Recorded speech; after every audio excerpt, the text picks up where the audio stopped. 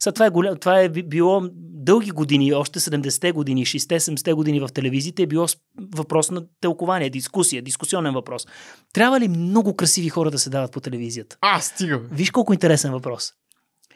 Ако си много красив, обемаш, а, подсъзнателно ти не чуваш какво си говори, а гледаш човека, ако не си мога, много красив. човек. Не мога. От друга страна, телевизията е визия. Тя иска да си красив. Тя, ако си урод, иска ли, да, иска ли да гледа телевизията урод? Любима моя дума.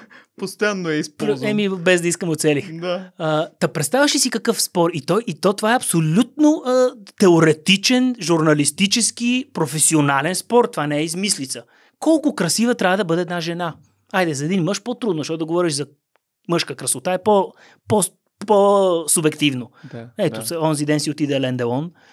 Еми, това е красив мъж, това е красота. Ега ти очите, ега ти от- м, М. светлината, какво, М. какво озарение, какво лице. Той като гледа направо се едно те гледа суперстар. Нали, Да, ега ти да. звездата. Но, но всички новинари не са Лен Делон, нали? А, искам да леко да зачекнем темата и за е, проблемите с информационното поле през новия век и конкретно с развитието на интернета и тази толкова популярна дума за мен, това е дума на годината и на предишните години дезинформация. Как въобще можем да отче, отсеем истината в тази информационна война? Няма да бъде честно да питаш човек за съвет от национална медия, защото в голяма степен тя е конвенционална, т.е. сиреч, както казва един политик, много консервативна. Смятам, че нашата телевизия до голяма степен се опитва да се пази от дезинформацията. Естествено, естествено, благодарение на тези дългогодишни професионални критерии. Но не е честно да... Нямам, нямам какво да кажа аз за, за съвет за дезинформацията, след като съм работил само единствено в такава медия. Тук веднага хвърлям вината върху свободията, която е повсеместна, където всеки говори каквото иска, където няма никакво ограничение, където няма никакъв, е, никаква мярка срещу неговите измишлетини, фантасмагори или дезинформации, умишлени или неумишлено, защото те могат да бъдат и неумишлени, дали са родени от популизъм, дали от някакви политически доктрини, дали от а, а, дългата ръка на Путин или не. Това всичкото не е в полето на БНТ. БНТ е, слава Богу, независима от а, това нещо. Да, поглъща ни поле от информация и дезинформация. Да, ние сме нагазани с двата крака в него. Но смятам, че до голяма степен аз лично се опитвам да се предпазя от това. Знаеш ли, преди години направих един голям гаф за дезинформация. Ма голям гаф направих Какъв? Цитирах, и ето сега това е моето извинение, че цитирах в Фейсбук зрител на предаването, който казва Мир на праха на Михаил Шумахер, той почина, моля ви съобщете го. И аз с целия си акъл казвам, има тъжна новина ни достига, умря Шумахер, който не беше умрял. Но аз някак си го съобщих. Сега, извинение ли е, че зрител ме е подвел? Това извинение ли или не? Е, очевидно не. След, след като излезе а, заглавие, БНТ погреба Шумахер.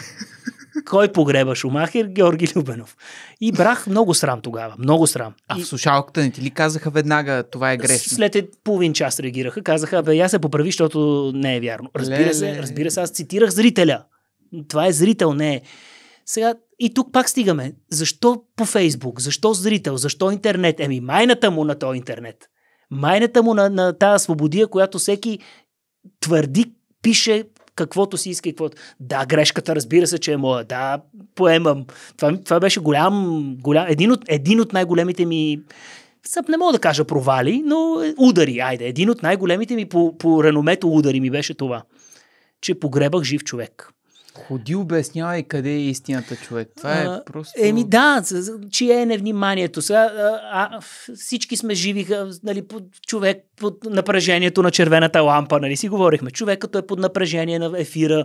Сега, откъде да знам? Мо, да, моя е грешката. Не съм се образил, не съм се допитал, не съм питал редактора, бе, я провери сега. Но всичко това е в- момента, всичко е жив ефир, то тече на живо. Братя и сестри, само напомням, че 52% от вас все още не са се абонирали за YouTube канала Чефо. Ще ви замоля да го направите. По простата причина, че по този начин ще помогнете на това, което създавам, да достига до все повече хора в тази необятна YouTube алгоритъмска джунгла. Тя е много често и несправедлива спрямо качественото съдържание, към каквото разбира се аз се стремя. Не претендирам, че правя, но поне се стремя.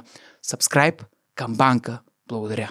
Добре, беше ли преди 10 години такова положение? Не, не, не беше. Не беше поради тази ескалация, която ти казах. Днес всеки си е медия. И това е правило в е, свободните социални мрежи. Всеки може да бъде медия. Всеки може да ти съобщи някаква новина в своя профил. Инстаграм, X, бившия Twitter, е, TikTok, Snapchat и не знам още кои са модерните неща. Всеки може нещо да ти съобщи. Следователно ти се превръщаш в новинар. Ти съобщаваш новина. Ти си журналист. Ти си медиатор. И от тук нататък обаче отговорността е твоя.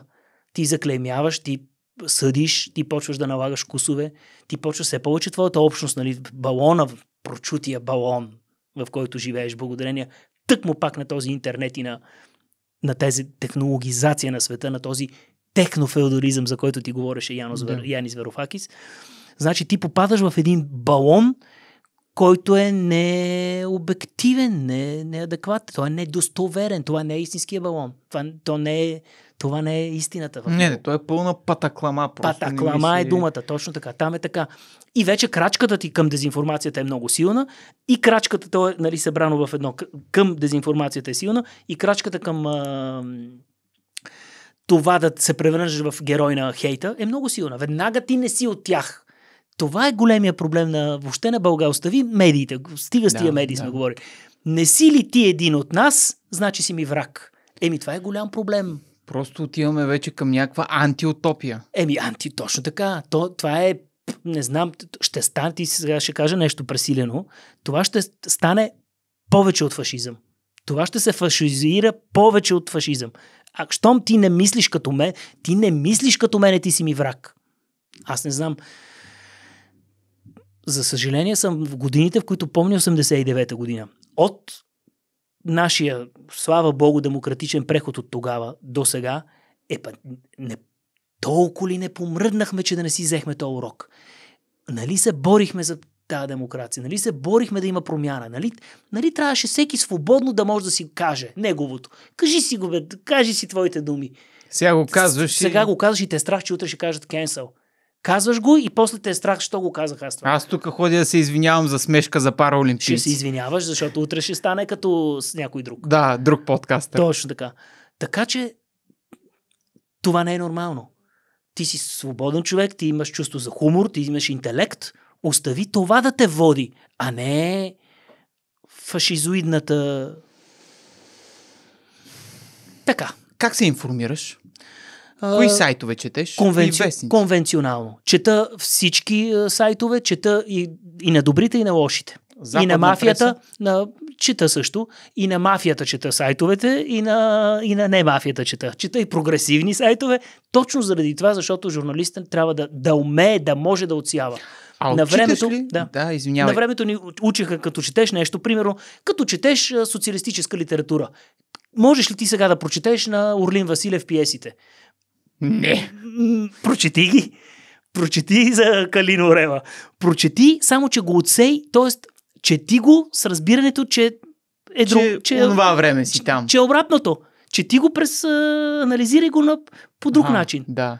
Пресявай го. Лишено от емоция. Лишено, точно така. Ти го виж какво е било, за да разбереш, е, за да осъзнаеш какво е било. Просто много, по много интересен начин трябва да, да съди. Та затова чета много сайтове. Чета и на мафията сайтовете, чета и на не мафията сайтове. А намираш ли наличие на повече достоверност и вкус а, или нещо от двете само в конкретна прослойка от сайтове?